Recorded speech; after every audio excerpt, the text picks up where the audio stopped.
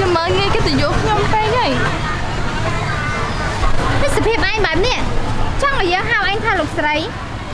លោកជំទាវឬមកក៏ចង់ឲ្យយើងប្រើភាសាបែបណាទៅស័ក្តិសមសម្រាប់ឯងណាប្រាប់ភាសាថាជាឆ្កែដែលវាឈួតដើរតែដណ្ដើមរបស់គេស៊ីមិនខ្លាចឡានមកស្លាប់នោះអីនេះឯងចង់